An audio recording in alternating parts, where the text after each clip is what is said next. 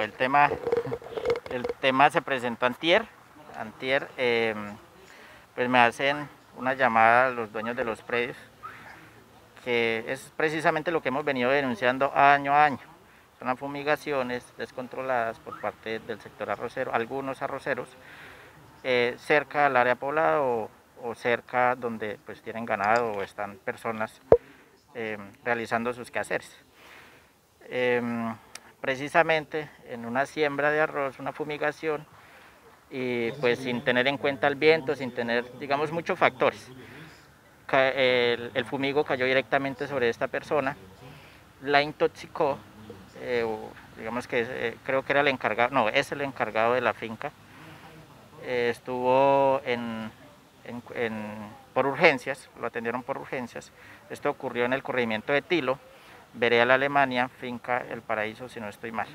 Entonces, eh, no es algo nuevo que, que, se, denuncie, no es algo nuevo que se presente, pero allí, allí el, presidente de la Junta adelantó, digamos, como un pacto hace un año, que se firmó que, si no estoy mal, a 300 metros sobre, digamos, una vivienda no sé, que no se siembre, para evitar precisamente esto, pero entonces como que no se cumplió.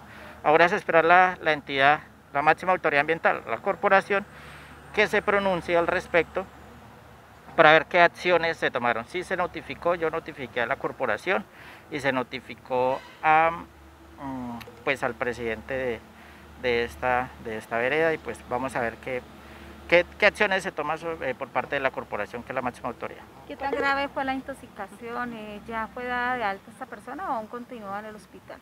Tengo entendido que al día de hoy ya está de alta, pues esta mañana estuvimos hablando con los dueños de los predios y sí, que él ya pues, se siente mucho mejor, pero, pero es tomar acciones sobre lo que se ha venido presentando y que se está saliendo definitivamente de las manos del, de la máxima autoridad ambiental. ¿Quién fue el responsable de esta fumigación? No, mm, digamos que no tengo esa información directa, exacta, eh, sobre quién fue el que, el que hizo la afectación. ¿Se pudo conocer el químico con el cual eh, realizaron la fumigación? Claudita, no. Em, no sé, no, no, no tenemos ese dato exacto, pero para ello es que se debe dirigir la entidad a tomar el muestreo, a hacer... Yo he insistido que se hagan las denuncias penales. Esto no es nuevo, esto, ellos son los, los, los, los responsables, no todos los arroceros, vuelvo y repito, pero sí hay unos más responsables y, definitivamente irresponsables a la hora de, la fumigación. ¿Cuántas eh, viviendas o fincas afectadas en el sector donde realizaron esta fumigación? ¿Solo esa finca o hay otros predios aledaños? De personas, eh, sé que fueron los encargados de esta finca, ganado, creo que también se hubo intoxicación sobre el ganado, eh, pero creo que sobre esta área específica recayó más sobre, sobre la mencionada recomendaciones para eh, aquellas personas que aún siguen eh, fumigando y que no toman las medidas eh, preventivas?